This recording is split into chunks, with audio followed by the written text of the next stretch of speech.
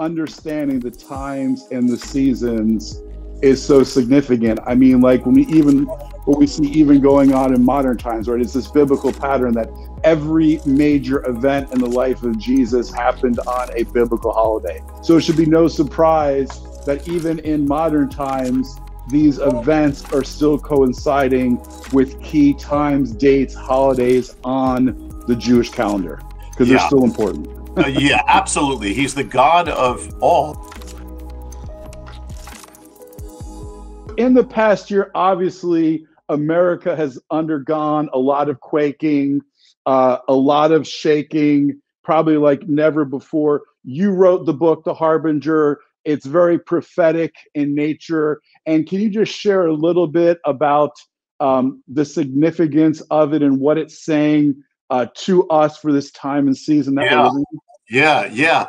Yeah, it was um, the the Harbinger two. I mean, of course, it takes up yeah. where the Harbinger one left off. I, I I always knew for for years that I had to write the, uh, a follow up, the follow up of the Harbinger, and I held off because I know I could never do it until the time was right, until the Lord said. The Harbinger two is what has happened since I came out with a harbinger. What have the have the signs continued? Have we continued on this ancient progression, this mystery, uh, for, which is the harbinger, which we, we, can get into. So, for those who don't know the harbinger, um, is America heading toward judgment? Are we are we uh, following the the ancient template of the last days of Israel? Has it continued? So, one part is what has happened since the harbinger.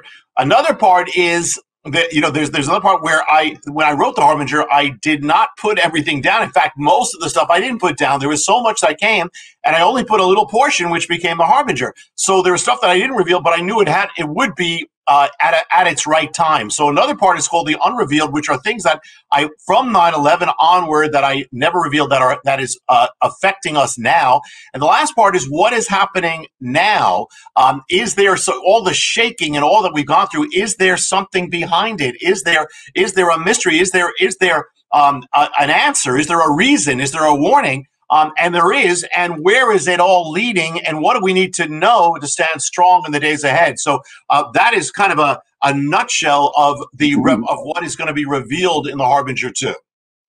Wow! Now, is there a secret? Uh, a couple secrets from the book that you can kind of reveal to us and give us some sure. insight that you feel is like really pertinent for this moment. Oh, oh sure. And, and, let me tell you, you know, um, Jason, I was, you know, I was praying in 2019 about what's the next book, and I had a few things. Okay, give me this, this, this, and you know, I'd like to do this, but I always pray, Lord, what what do you want to do, and what what's the next thing? And that's where I got. Okay, it's time for the Harbinger two, and I got a very strong sense. This is 2019 that 2020 was going to be a year of great shaking, and I I I shared a, about that at the congregation publicly um, before all these things happened, and I knew that it was going to be the the continuation of the harbinger of of the mystery of this, and I had to get this out in that year. You know, so I started right. writing in January and then uh, by in March, all the shakings began, you know, and then it came out in September. So um, that's that's you know that's that's the background there. But there is there is so much. Do you want me to start with just a little sample, a taste of things that I didn't reveal from the beginning, sure, and then I can go please. to what's up? Okay. Please, yeah. Yeah. Well, okay. One of the things, you know, for those who don't know, the, the, the template of judgment and warning in the Bible, is that years before the great shakings come upon the land and the, and really or or the judgment or destruction, there is a there's a warning. Um, there's an initial strike on the land. It happened with with the ancient nation of Judah. Happened with Israel years before. Well, with America, it, it begins with 9/11, and 9/11 was a wake up call. It was limited. It was contained. It was the strike of the enemy, the biblical template, and from that comes nine harbingers or nine warnings um, that that basically that appeared in the last days of ancient Israel that have uh, now appeared in America starting with 9-11. It's warning the nation, calling it back because God is calling the nation back. So that's the that's the beginning of what is revealed in the Harbinger. But there's a lot that I didn't reveal uh, from 9-11. I think some things you would you would connect with. Um, certainly, one is that the the week that was leading into 9-11 there was a scripture verse appointed from from you know almost virtually ancient times that's read in all the synagogues. And of course you know it jason that that this is called the parshas. And um and this is the appointed word that is a point that that every sabbath they open up the scriptures we open and we read that appointed word. Well what was the appointed word leading into 9-11 it was the word that speaks of the warning of what happens when a nation that has known God turns away from God. And, and as it turns away from God, um, the the judgments begin on the land, um, or the warnings. And one it specifically says an enemy will come from far away, a faraway land, will strike you at your gate, which actually the gate of America is New York. Um, it speaks about all sorts of things that are going to happen, and then and then it says he will come like an eagle swooping down, an eagle swooping down, which is actually how 9 11 literally, I mean, the enemy, it's a sign of judgment in the Bible. The enemy comes in some way like an eagle swooping down. Well, 9 11, it was literally the plane swooping down. The first plane that began 9 11, actually, when it came, uh, into New York, it had an image on the back, which is an image of an eagle swooping down.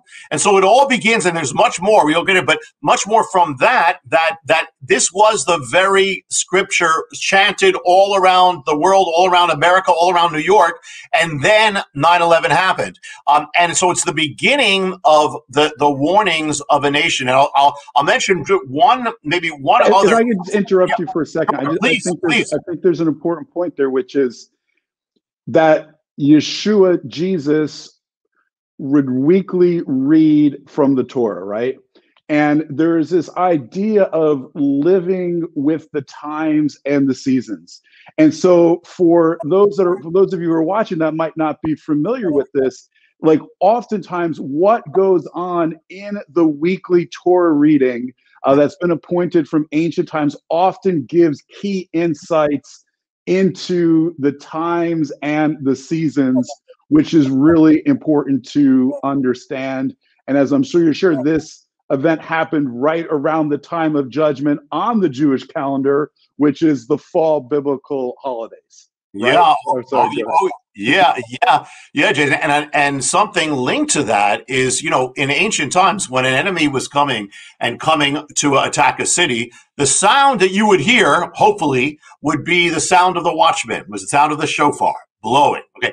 Well, 9 11, went on the morning of 9 11, all around the Northeast of America, the sound of the shofar begins to be heard in the morning and actually because of an because of an ancient ordinance of certain things that have to be done where we're in that period first of all it's the month of elul where where that is blown but also on that day uh, it's a special time where scriptures concerning judgment and mercy crying out for mercy uh, are read and so it all happened the morning of 9 11. And the thing is that the appointed times for when the shofar, the war, this warning is blown, um, is it starts with uh, dawn and also a sunrise, depending on how, on how you view it. So the thing, so what happened was it begins, the shofars began sounding in Maine at a certain time, and that's exactly when 9/11, the terrorists began in Maine. The first, as they're passing through the airport, is the shofars begin sounding.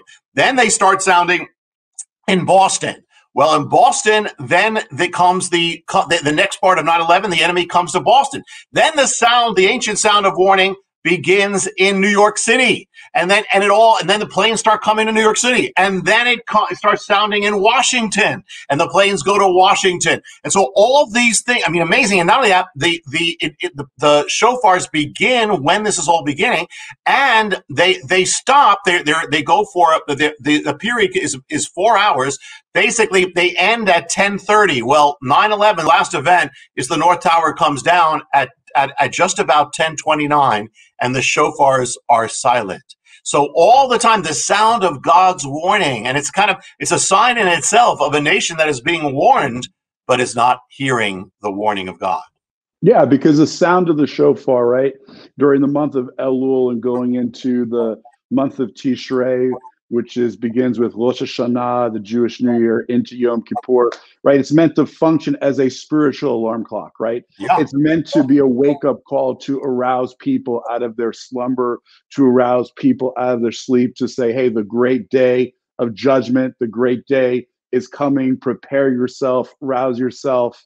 And, Yes. uh, you know, it was so obviously God was, it was meant to send a message to wake up.